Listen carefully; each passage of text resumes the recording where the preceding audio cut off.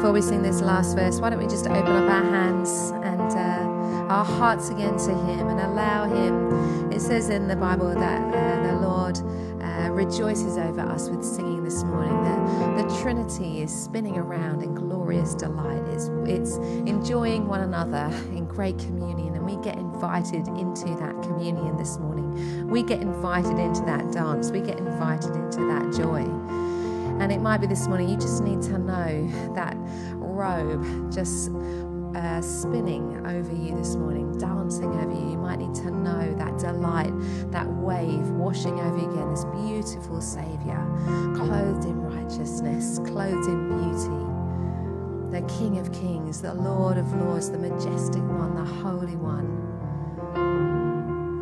the Lord of history. He is rejoicing over us with singing this morning. They are enjoying one another and we get caught up in that song. We get caught up in that moment.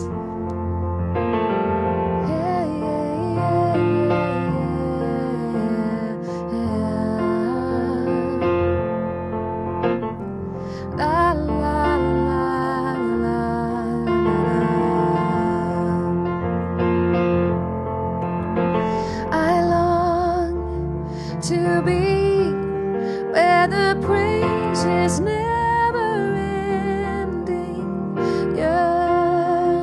To dwell